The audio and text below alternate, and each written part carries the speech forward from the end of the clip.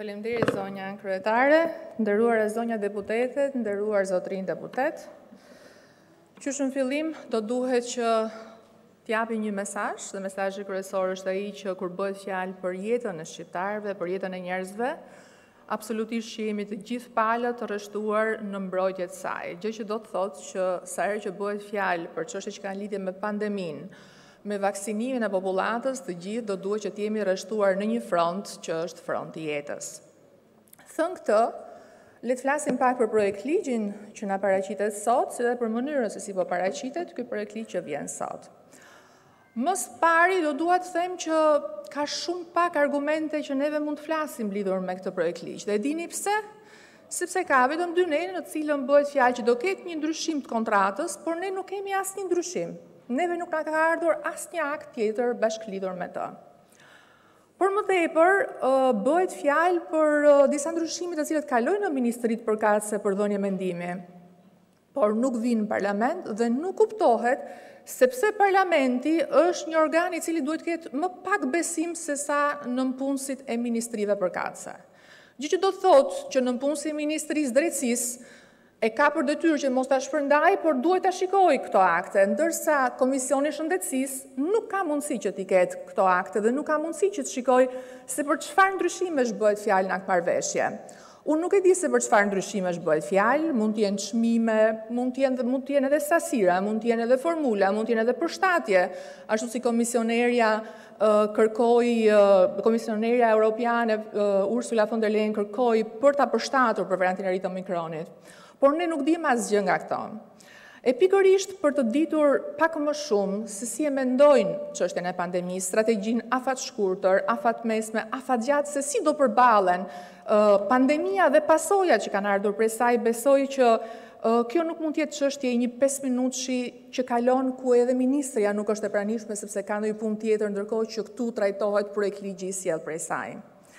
Do duhet që ndoshta të kemi një seancë të gjatë në këtë parlament ku të flasim edhe për mënyrën se si u trajtua në në momentet e para, por dhe se si po vazhdon trajtohet dhe se si dhe kush do jetë rruga që do zgjidhet, pra kush do jetë fundi dhe se si do ia, do ia dalim deri në fundin e këtij tuneli. Sigurisht do më thoni që nuk e dinë as shtetet e tjera, nuk dihet se si do evoluojë, por të paktën të kemi një logjikë dhe një strategji Kjo na takon të gjithë palëve dhe kjo do të thotë që ky krahu këtej nuk është se e mendon më keq se sa ky krahu këtej. Ose akoma, akoma më e rëndë që ata që janë përfaqësues të ekzekutivit nuk mundet të mbyllin veshët dhe të mbyllin sytë përpara atyre që thuhen si nga përfaqësuesit e BSH-së ashtu dhe nga përfaqësuesit e opozitës. Është e pamundur kjo lloj arrogance dhe kjo lloj shprehje i ekzekutivit ndaj parlamentit. Asnjë arsye nuk ka sepse sot deputetët duhet të jenë më pak të besueshëm se sa nënpunësit e ministrive. E pra ajo ndodh. Dhe e dini pse ndodh sepse në këtë vend ka akoma një mentalitet autoritarist i cili ushqehet çdo ditë dhe nga i cili neve nuk kemi bërë divorc kurrë, nuk jemi ndarë kurrë.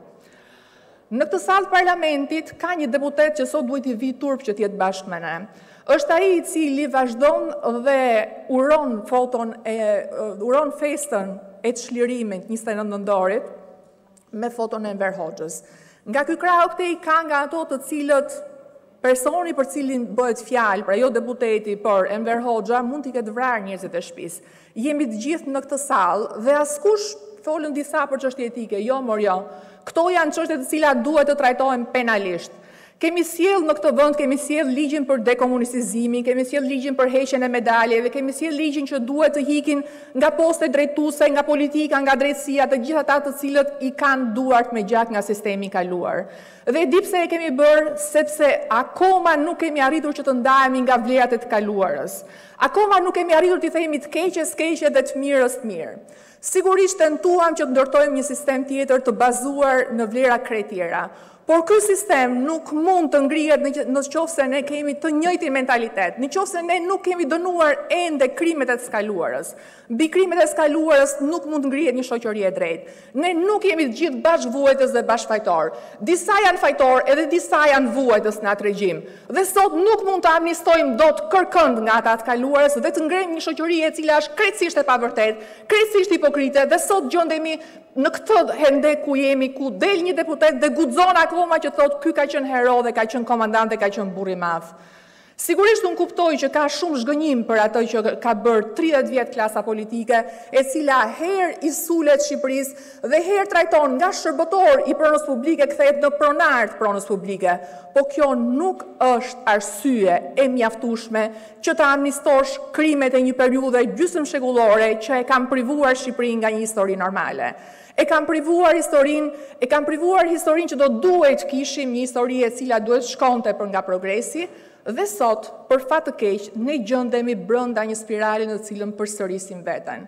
Ne kemi përsëri tendenca autoritariste, ne kemi tendenca që të ngatërrojmë vlerat dhe të mos i themi të mirës të mirë dhe të keqes të keqe, dhe kemi po ashtu armiqësi të fshehur e cila shkon deri në fund, deri në pjesët më të fundit dhe segmentet e fundit të këtij vendi. Pikërisht për këto do duhet që të fillojmë dhe të kemi një periudhë të re të qasjes me të kaluarën, por edhe një periudhë të sjelljes ndaj institucioneve ndryshe. Nga parlamenti buron, nga legjislativi buron ekzekutivi, nga parlamenti buron qeveria.